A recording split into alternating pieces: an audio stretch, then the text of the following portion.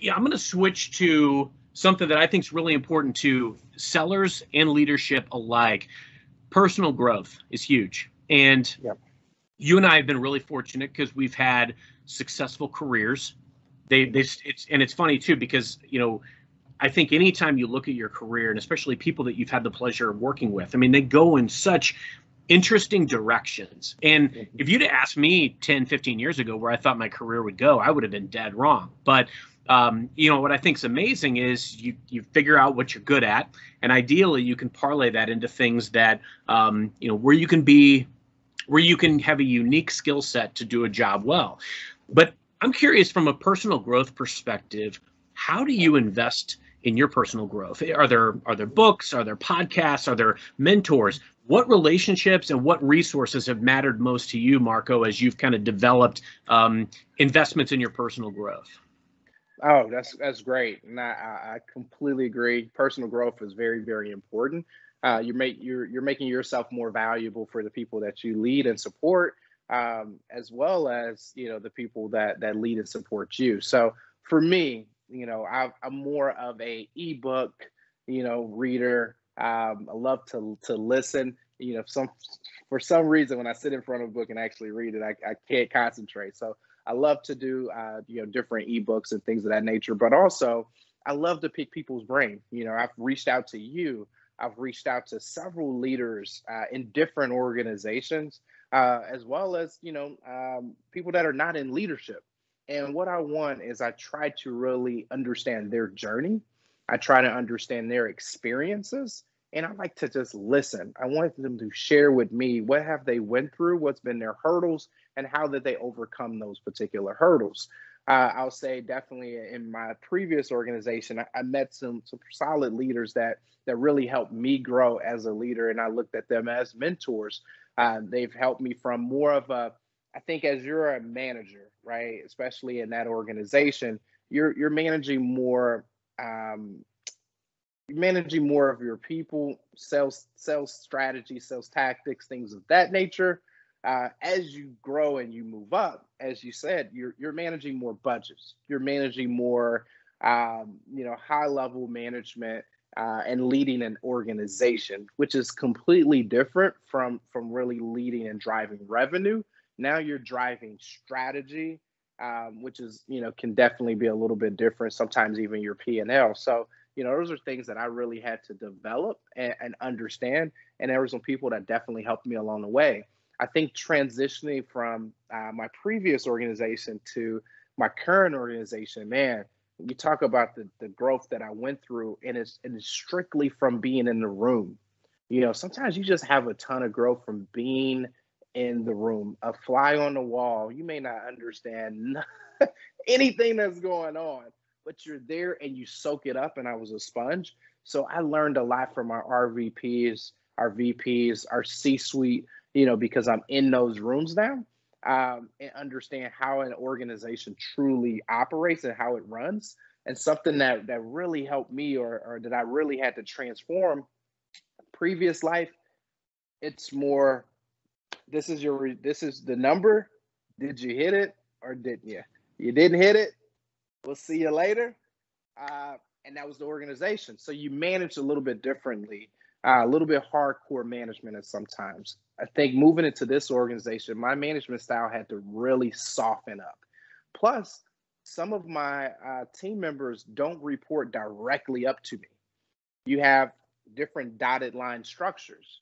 So when you have a dotted line structure, you're you're leading from a strategy perspective, and they still report up to you, but you're not necessarily looking at their time cards, etc. So how do you get someone to follow you who really have no determination over you know uh, their employment per se. You know they're they're following you based on strictly your credibility your strategy etc so i had to learn how to work well with peers. Previous life i was the end all be all whatever decision that i made that's what we went with. We ran through it. That was it. I didn't have to really get any approvals anything. If i thought it was good and it made sense it was going to drive our number, Marco, go do it. Switching into a new organization, I had to get buy in. I had to get buy in from the local directors. I had to get buy in from you know, our, our, our VPs. I had to get buy-in from our VPs. I had to get buy-in from our C-suite. I had to get buy-in from the the agents, the core, everyone before I could ever push any strategy or initiative forward. And that could be very, very frustrating initially. Uh, but it, I think it helped my growth. It helped me understand how to really be part of a leadership team and a team in general where we're working towards the same goal. You know, it's not that you have 10 different directors and now you guys are all fighting to see who's going to be number one. That's not how this organization is. You're not competing with any one person. You're competing with other uh, companies to see who's going to be number one in that industry, but not in the in your in your organization. So you have to work together, and that's the biggest growth that I saw in 2019, uh, where I had to take those lumps, and I think it you know for me, I started to implement those strategies and implement what I've learned from my peers uh, in 2020, and I think our it, it helped our organization see even more growth in that regard. So I definitely grew as a leader um, in 2019 and 2020, and I have you know a lot to thank from my peers and, and the people that supported me along that way because I had to grow in those areas. That is super impactful, super powerful. You know, personal growth it's important for a variety of reasons, but I think it's it's really important because it directly correlates not only to your personal happiness, but also obviously the value that you're going to bring to everybody you touch. I mean, that's that's the unique differentiator. You know, you're you are the X factor in every equation. I mean, you're you're the one who makes this you know makes the relationships work you're the one who understands the parameters of your job and how to really truly be an advocate for clients and for people that work for you and people that you work with um, but also you you've got to make sure that you satisfy all the involved parties, all the invested parties. So, you know, I've got what I call a holy sales trinity. It's the customer, the company that you work for, and you. Those three things have to benefit on every transaction, in every relationship. You can't have one of them miss out or, or, or lose out. I mean, that's why negotiations fall through. That's why uh, deals don't get approved. That's why things don't move forward, is because one of those entities is not being taken care of. Now, you were also talking about a lot of different ways to invest in personal growth. And, you know, one thing that I recommend to folks is replace senseless scrolling. I'm a victim of this too. You know, you, you step away for a second, or you're, um, you know, you're you're you're sitting there with nothing going on at that moment, and, and what do you do, man? You open up, you're maybe scrolling through social media or whatever it is. You know, I used to be the guy. I had to be holding the book in my hands, um, and I still enjoy holding a book in my hands. But like uh, getting your your ebooks and g- instead of going straight into social go into an ebook that you know kind of gets you thinking about things in the right way. Um, also just having a routine and, and listing out kind of your non-negotiables. I can't function at an optimal level unless i get up before everybody else and i work out and i listen to some music or i watch something that i wouldn't be able to watch with other people around. And i have my best ideas then and that's when I kind of make my list for the day. I'm like, okay, these are the things that I need to and or want to do today that's going to make today a productive day.